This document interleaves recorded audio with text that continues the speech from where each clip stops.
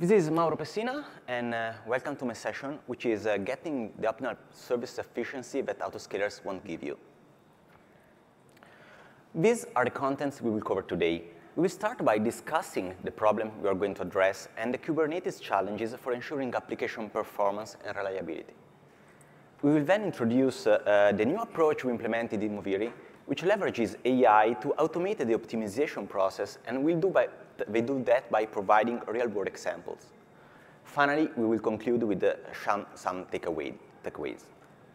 Before proceeding, please allow me to introduce myself. Uh, my name is Mauro, and uh, I'm the head of performance engineering services line in Moviri. And uh, performance engineering has always been my passion since uh, I graduated. So let's start with a, a quick introduction about what the problem is. As you all know, applications are evolving. Monoliths are quickly disappearing, and modern and cloud-native applications are features dozens or even hundreds of microservices spanning over a wide set of technologies.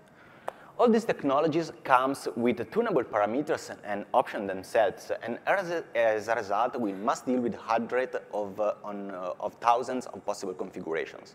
So how do you find the configuration that best suits our workload? Uh, speaking of Kubernetes itself, uh, uh, there are more and more stories about how difficult it is to ensure performance and stability for Kubernetes application, as you may have seen also uh, on speeches before mine. The Kubernetes failure stories, for example, is a website that was specifically created to share Kubernetes incident reports with the goal to learn how to prevent them. Many of these stories describe teams that are struggling with Kubernetes application performance and stability issues such as unexpected CPU slowdowns or even sudden container termination. But why is it so difficult to manage application performance, stability, and efficiency uh, on Kubernetes? The simple answer is that Kubernetes is a great platform to run containerized applications, but it requires applications to be carefully configured to ensure high performance and stability. Let's now uh, get back to the fundamentals and see how Kubernetes resource management works to better understand the main parameters that impact Kubernetes application performance, stability, and cost efficiency. Uh, we will go through the six main key facts and their implication. Starting from the first, which is resource request. You may have heard uh, many talks before mine talking about this topic, but let's uh, make a quick recap. Uh, when developers define a pod, they have the possibility to specify also resource requests. Those are the amount of CPU and memory uh, which are uh, granted to the pod, or, or, be, or better, a container within the pod. And Kubernetes will schedule the pod on a node where the requested resources are actually available. In the example, you can see the pod A, which requires two CPUs and is scheduled on a four CPU node. When a new pod B of the same size is created, it can be also scheduled on the same node. This, no, this node uh, now has all of the four CPUs requested. If a pod C is created, Kubernetes won't schedule it on this, this node and as its capacity is full. This means that those numbers a developer puts in a YAML file are actually used by Kubernetes to manage a real cluster capacity. A quite surprising fact is that Kubernetes, mm, there is no overcommitment on, re on request. You cannot request more CPUs than those available in the cluster. This is very different from, for example, virtualization, where you could create VMs with many more virtual CPUs than the real physical ones. And another very important fact to notice is that resource requests are not equal to utilization. If pod requests are much higher than the actual resource usage, for example, you will end up with a cluster that can be, full, can be fully scheduled, even though its CPU utilization is as low as 10%, for example. So the takeaway is here is that setting proper pod uh, request uh, is needed to ensure Kubernetes cost efficiency. The second important uh, concept is resource limits. Resource requests are the guaranteed resources a container will get, but usage can be higher. Resource limits is the mechanism that allows you to define the maximum amount of resources a container can use, like two CPUs or one gigabyte of memory. Uh, all this is great, but what happens when resource usage hits the limit? Kubernetes treats in CPU and memory differently here. So when CPU usage approaches the limit, the container gets throttled. This means that the CPU is artificially restricted, and this can result in application performance issues. Instead, when memory usage is the limit, the container could get terminated. So there is no, no, application slowdown due to paging or swapping or so on. But uh, with Kubernetes, your pod will simply disappear, and you may face serious application stability issues. The third fact is about an important, less-known effect CPU limits have on application performance. CPU limits work by throttling CPU performance, and you may think that this happens only when CPU usage uh, hits the limit. But surprisingly, the reality is that the CPU throttling starts when the CPU usage is well below the limit. We did quite a bit of research ourselves, and we found out that the CPU throttling can start when CPU usage is as low as 30% of the CPU limit. This is due to some configuration of some kernel parameters. But uh, uh, let's, uh, let's talk about what happens. This aggressive CPU throttling has a huge impact on service performance. You can get sudden latency spike that may breach your SLOs without any apparent reason, and even at low CPU usage. So now, some people, including uh, the engineers at Buffer, for example, tried to, to, remove CPU limits. What they got, you can see it in the chart on the right, was an impressive redu reduction in service latency. So is it, is, is it actually a good idea to get rid of CPU limits? Well, it depends. The answer could be no, because CPU limits is, exist for the purpose of ensuring that applications run fine and coexist with other applications. So if CPU limits are removed, a single runaway application can completely disrupt the performance and expected availability of your most critical services. Uh, this best practice obviously is also recommended by Google. So tuning these resources is really important. You have to think properly before doing it. Coming to the autoscalers. So we have VPAs, we have HPAs. Let's talk about VPAs. Uh, the vertical pod autoscaler uh, basically provides recommendation on CPU and memory request based on the observed pod resource usage. However, our experience with the VPA is mixed. Uh, in this example, you can see a Kubernetes microservices which is uh, serving a typical diurnal traffic. The top right chart shows the latency of this service and its service level objective. Uh, while below you can see the resource request in terms of CPU and memory and the corresponding resource utilization. It's interesting uh, uh, to see okay, that uh, we left the service running for a couple of days with some initial resources sizing, and then we activated the VPA and let it apply the new recommended settings to the pod. It's interesting to see that the VPA immediately decided to reduce the signed resources. In particular, it cut in half the CPU request, but this is likely, due to some apparently uh, over-provisioning of this service as the CPU utilization was below 50%. However, with this new setting suggested by the VPA, the latency of the microservices skyrocketed, with the microservice no longer, no longer able to meet its reliability SLOs. What is the lesson learned here? Uh, VPA autoscaler is based on resource usage and does not consider application level metrics like response time, for example. We need to evaluate the, the effects on, of the recommender settings as they, as they might be somewhat aggressive and cause service, uh, severe service performance or reliability degradation. But we do also have HPA, the horizontal pod autoscaler. Uh, what about it? In this example, we show a situation where HPA, HPA scales out when specific memory or CPU consumptions are met. As a result, from one pod, we get two identical pods uh, that provide the same service. This is great. So we have two times the resources we had before to compute the service. What could possibly go wrong? Well, things may go wrong because if for some reason you didn't properly set up your memory limit, for example, you undersized it, uh, you will simply get into a situation where you get twice the out-of-memory kills you had before. But also, on the other hand, you may face a situation where you set uh, your CPU limits to high, but your pod can find such resources, directly impacting your service latency because of throttling. But let's say you wanted to play safe and over-provision all your environment and your pods. Everything works properly, functionally speaking, but at what cost? at least you may be wasting two times the resources you were wasting before the scale out if your pod isn't tuned properly.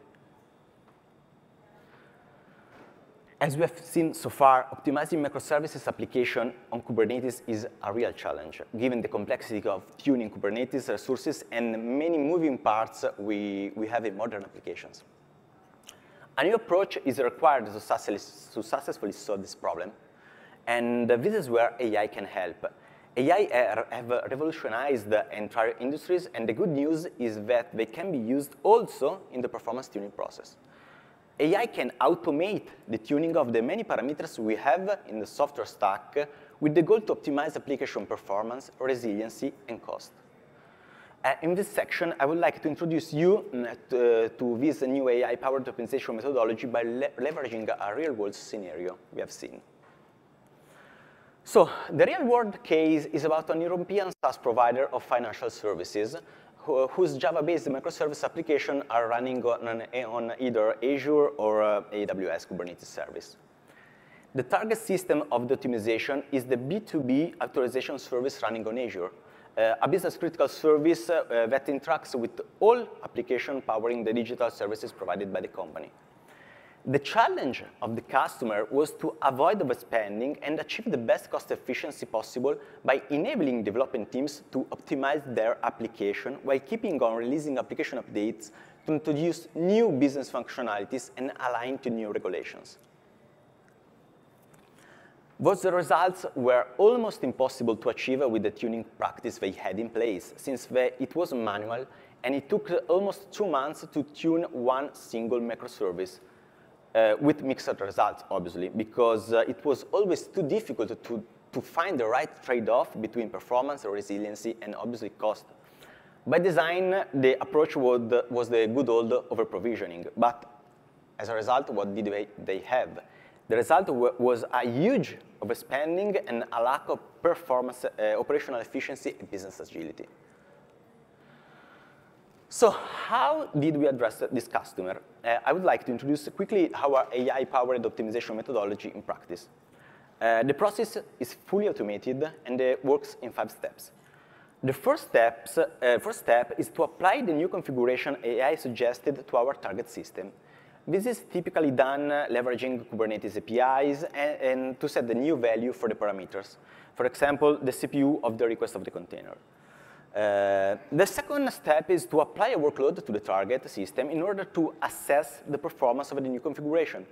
Uh, this is typically done by leveraging performance testing tools.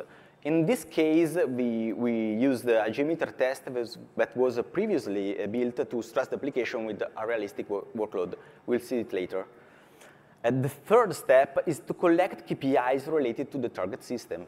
The typical approach here is, is to leverage observability platforms, and in this case, we uh, integrated Elastic APM, uh, which is the uh, monitoring solution used by the customer.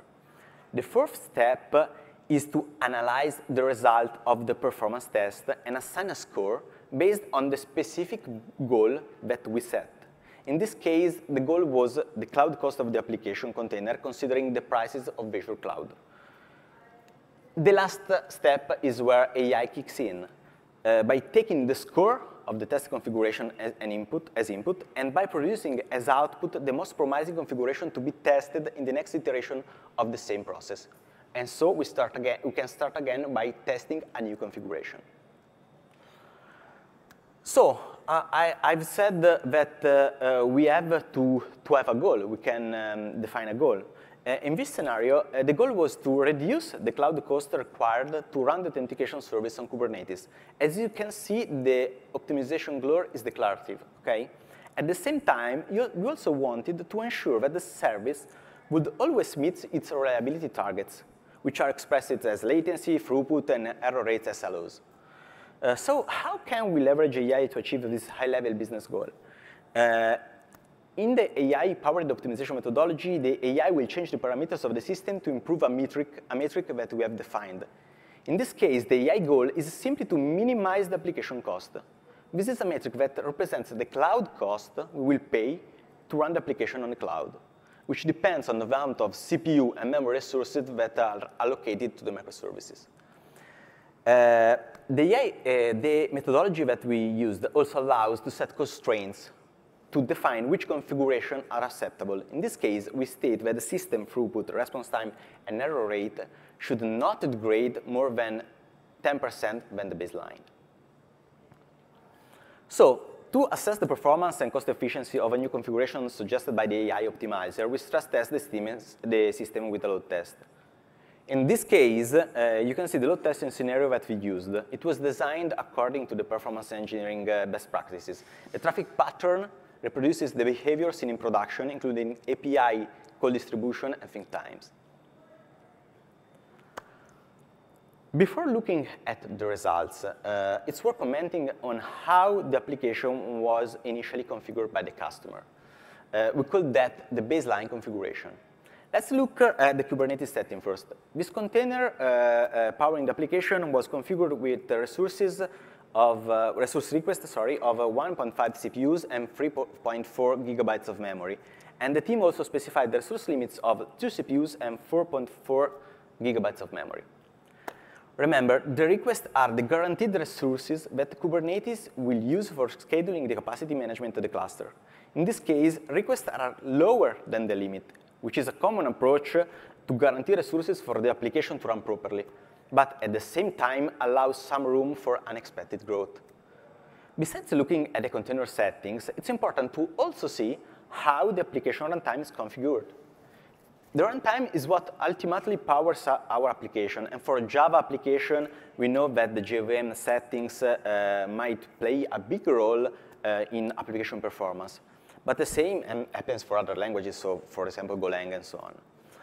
So the JVM it was configured with a minimum heap of half a gig and a max heap of 4 gigs, okay?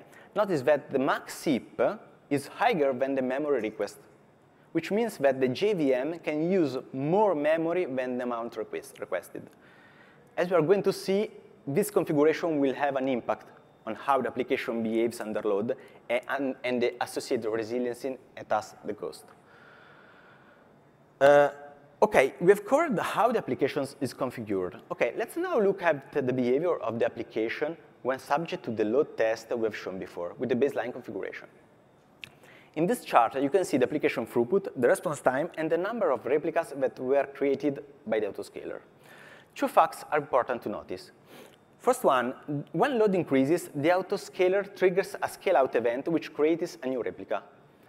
This event causes a big spike on response time, which impacts service reliability and performance. This is due to the high CPU usage and CPU throttling, obviously, during the JVM startup phase. When the load drops, the number of replicas does not scale down, despite the container CPU usage may be idle, as in this case. It's interesting to understand that why this is happening. This is caused by the configuration of the container resources uh, the JVM running inside, and the autoscaler policy, in particular for the memory resource. The autoscaler, in this case, is not scaling down because the memory usage of the container is higher than the configured threshold of the 70% usage of the memory request.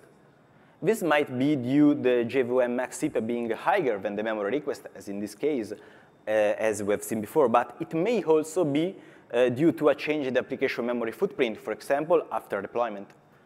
Uh, this effect clearly impacts the cloud bill, uh, as more instances are up than the required ones, but shows that configuring Kubernetes apps for reliability and cost efficiency is actually a tricky process. So what did we do? We, know, we now know how the baseline behaves. Let's start optimizing. What we did was starting experimenting with different Kubernetes and Java configurations suggested, suggested by our AI algorithm and measure the results. Let's have a look at the best configuration identified by our AI with respect to the defined cost efficiency goal. This was find, found at experiment number 34 after about 90 hours of trials and provides a 49% improvement on the cost with respect to the baseline. First of all, it's interesting to notice how our optimization increased both memory and CPU request limits, which is not all obvious, especially for Kubernetes, because uh, Kubernetes is often considered well suited for small and highly scalable applications, We will deep dive on this into a minute. Uh, the other notable changes are related to the JVM options AI picked. The max heap was increased by 20% and is now well within the container memory request, which was increased to 5 gigabytes. The, the mean heap size also has been adjusted to be almost equal to the max heap, which is a configuration that can avoid garbage collection cycles, especially in the startup phase of the JVM. So let's now see how the application performs with the new configuration identified and how it compares to the baseline. There are two, two important differences here. Autoscaling is not triggered in this configuration, as the full load is sustained by one pod. This is clearly beneficial in terms of cost. Response time always remains within the response time SLOs, and there are no more peaks, so this configuration not only improves on cost, but also is beneficial in terms of performance and resilience. Let's also compare in detail the best configuration with respect to the baseline. Here we can, we can notice that the pod is significantly larger in terms of both CPU and memory, especially for the request. This configuration has the, effects, has the effect of tr uh, triggering the autoscaler less often, okay, as we have seen. But interestingly, while this implies a kind of fixed cost, considering the pricing of the container resources, it turns out being much cheaper than a configuration where autoscaling is triggered, and this also avoids performance issues. The container and runtime configuration are now better aligned. The JVM max heap is now below the memory requests, and this has beneficial effects, and it also enables the scale down of the application should the scaling be triggered by higher loads. Let's now have a look uh, at another configuration found by AI uh, at the experiment number 14 at, after about eight hours. We labeled, we labeled this configuration high resilience for a reason that will be clear in a minute. The score of this configuration, while not as good as the best configuration, also provides about 16% of cost reduction. So this can be considered also an interesting configuration with respect to the cost efficiency goal. As regards the parameters, what is worth noticing is that this time AI picked different settings that significantly change the shape of the container. It, is, it is now has a, a much smaller CPU request than the baseline, but the memory is still pretty large which is interesting. The JVM option were also changed. In particular, the garbage collector was switched to a different one, to parallel, which is a collector that in some cases can be much more efficient and uh, on the use of CPUs and memory. But let's now compare the behavior of this configuration with respect to the baseline. There, there are two important differences here. The peak on the response time upon the scaling out is significantly lower it's, it's still higher than the response time SLOs. However, the peak is less than half the value for the baseline configuration. This clearly improves the service resilience. And now auto-scaling works properly. After the high load phase, replicas are scaled back to one. This behavior is what we expect from an auto-scaling system that works properly. Notice that the response time peak could be further reduced. It's simply a matter of uh, creating a new optimization with a new goal of minimizing the response time metric, for example, instead of application cost. Let's now also compare in detail the high resilient configuration with respect to the baseline. Quite interestingly, uh, this configuration has higher memory requests and lower CPU requests, but higher limits than the baseline. As you may remember, the lowest cost configuration instead had higher CPU requests than the baseline. Without getting too much into the analysis of this specific configuration, uh, what the, this result show is that the optimization goal changes and CPU and memory requests and limits may need to be increased or decreased, and that multiple parameters at Kubernetes and JVM level also need to be tuned accordingly. This is a clear, clearly a confirmation of the perceived complexity of tuning Kubernetes microservices applications. Uh, as we're here just discussing just one microservices, but think about tuning hundreds of microservices. In terms of customer result, what did we get? Uh, the right sizing of the service pods allowed a huge cost reduction in the Kubernetes environment, but there's more. We allowed them to automate the tuning of their services, all services, in a matter of hours instead of months, uh, enabling not only the cost reduction, but also enabling an improvement in the latency of their application and overall a better user experience, experience for the customer. There are many interesting configurations that we found out with our study, uh, and they may be worth discussing, but I think it's time to conclude uh, with a few takeaways. First one, tune, tune, tune. Any inefficiency is not going to be addressed by your Kubernetes cluster. If you don't think about how to optimize your platform, nobody else will. And the second takeaway is uh, today's applications are too complex. You simply don't have time to optimize everything. AI-powered optimization works and can be the solution to your optimization needs. Thank you.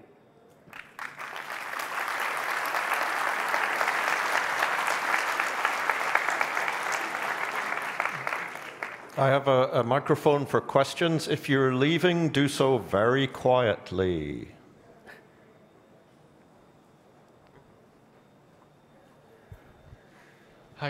Hi. Thanks, thanks a lot. This is, for me at least, very, very interesting. Um, one question, can you speak a bit more about the AI use? Is like black box optimization, like here are some parameters and just find the combination that seems to work best, or? Yeah, so we could talk hour about the, the, the approach we, we had. I'll just share some insights. So base, uh, basically, uh, that is based on reinforcement learning. And uh, we provide as input the parameters that we apply, so the value of the parameters that we apply, and the score, so the score of the last iteration that we had.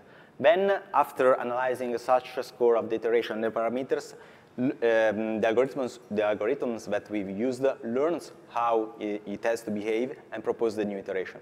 Uh, if you want more details, we can, we can discuss uh, separately because it's a long topic, as you may, as you may imagine. Hi. Uh, Hi. Thanks. Um, how did you took into consideration the CPU memory ratio of the node? Like you had at some point like the high resiliency was up some, some, something like two CPUs and five, six gigabytes of memory. Uh, so I, I, didn't, I didn't really get the question. so like you have no, the nodes in okay. AKS or something like that. So the nodes in the cluster like have a CPU to memory ratio. Okay. And that kind of like, if you have like uh, the pod with uh, two CPUs and okay. six gigabyte of RAM, okay. like uh, you can only put one pod on the node. Yeah. So right? like, how okay. did you take that into consideration, the CPU to memory ratio? Okay, so I, I got it. So in, in this particular case, uh, what, what, we did is uh, was focused on, on, the pod sizing, not on the, let's say, on the node sizing, or uh, we didn't think about um, auto-scaling of, of, the nodes. But uh, what we usually see is that uh, the experimental approach uh, allows us to monitor how the system behaves in terms of node capacity while we run. So we are able to, let's say, identify if we have a shortage in the CPU and memory uh, utilization on specific nodes. And doing this experimental approach, we can do it on one single microservice, or we can do it, uh, let's say, full stack for every microservices which is running on a specific node. So every container which, is, which runs in a specific node. I don't know if I answered your question, but we can discuss it further if you want. Hi, thank Hi. you. I think my question is a bit similar to the last one. It's like if we, um, if we always, this the example seems to optimize versus one service, but I think a lot of times uh, the, to minimize the cost, you need to optimize against all the servers. Otherwise, I guess the, one of the example is if it has, um, it gets a very large pod, uh, three CPU, and if your, your not might mean your node cannot um, accommodate any other pods.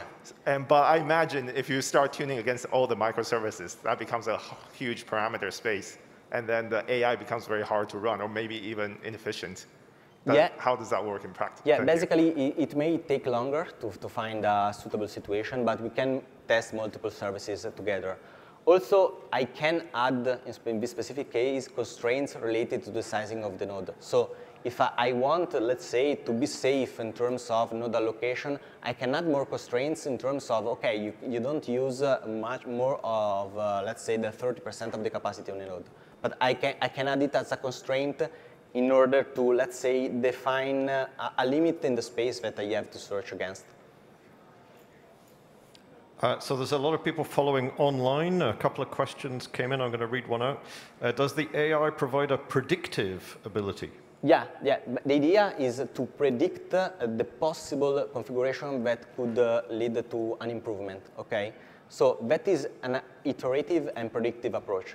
If uh, if you have followed uh, also the mm, the talk before mine, um they were talking about predictive approach. This is the case. I mean, this is a predictive and iterative approach. Okay. Hey, uh, in one of your slides, you said that you found that uh, if you disabled the CPU limits, the response times actually uh, reduced. Yeah. As far as I remember, there was a Linux, uh, Linux kernel bug uh, in 2020, if I'm not mistaken, and there was already a bug fix about that. And afterwards, uh, presumably, setting the limits again uh, would actually eliminate the bug uh, and fix the bug, actually. So my question would be, do you still think that uh, turning off the limits is a way to go? Or Well, okay. Uh, uh, in, in my opinion, I mean, uh, I, I know that uh, in some cases many, many kernels fix the, the, that issue on the throttling. Uh, the idea is that uh, um, this argument of removing the request uh, um, the resource limits is some, some kind of, um, it's, uh, by the way, it's something like uh, a, a war between uh, the, the people who want to remove limits and the people who says, oh no, you have to keep that limits. Uh, the nice part of what we do is that we don't need to take, uh, mm, let's say, a, a position since our approach is experimental. So if we find out that removing the limits has better improvements on the uh, on the on our application, we can remove it. Obviously, by removing the limits, we take the risk associated to it. Okay. Okay, two minutes left. Hi. Um, Hi. I have a question on uh, the problem of overfitting to the data. So, you know, in machine learning, you typically have this problem that uh, you can, you know, you can, your classifier or whatever can, uh, you know, become too sensitive to the training data and not perform well on the real data. So I see you're use, we are using uh, performance tests, so some artificial tests, right, Yeah. to um, to set the parameters. So like, how does it behave well in- in production, and you know, how do you solve this problem of being too uh, too fitted to the performance test? I, basically, the the health, uh, the accuracy of the test is very important. Yeah, basically, uh, I mean, I, I come from a long practice of performance testing. So uh, performance testing is what I do for a living since I started working. And basically, uh, the requirement to, to this approach is to find a way to shape a proper to, to shape a proper model of, of the of the let's say of the performance test. So you do have obviously to use uh, mm, the same version of application, the same version of the operative system, um, comparable, uh, let's say, sizing uh, um, in uh, the, pre- the pre-production environment where I test the configuration. So that is everything that you have to take into account. Uh, and for sure, that's, but, but that's the whole problem of, of how significant, significative is, uh, is your performance test. So uh, our, this approach is uh, well suited for uh, customer, for, for people who are very into performance engineering and know how to shape their traffic well. But we are also investigating the field of doing it, uh, let's say, in production with the real data. Okay, last question. Uh, with the JVM-based application, usually you have a problem when you try to base uh, your request to your actual utilization. because of the startup time Yeah, wh- when the application start and the CPU usage go up. yeah. How you could solve this. And the other thing is uh, when I bought this uh, resource and uh, usage actually almost the same, I will need to scale fast. Right, so I will need to have the ability to scale fast, which I still need to add more nodes and Yeah. Uh, so basically, uh, what we did uh, with, the, with the JVM topic is that in this particular case, because it's not, uh, let's say, a one-fit-for-all solution, okay? In this particular case, case uh, obviously, the, the best configuration was the one we didn't trigger the replica. But if you see into the other uh, configuration, uh, which led to a, some kind of 15% reduction in cost, in that configuration, we, we managed to find a sizing of both the JVM in terms of min heap and, and max heap, uh, which were increased, where he, uh, the, the JVM wasn't suffering, let's say, in terms of throttling at the startup of the JVM. Obviously, a JVM always suffers in terms of CPU when it starts. But uh, that specific configuration in terms of min heap, maxip, and memory request on, uh, on, on the pod allowed us to cut, let's say, the, the spike in half. But that is something you will have to face ever. I mean, in every situation, if you don't want to, let's say, over, um, um, over, uh, oversize your environment, you will, have, you will have some kind of spike when a JVM starts. Okay. Okay, we are out of time. Thank you for being here, and uh, get in touch soon.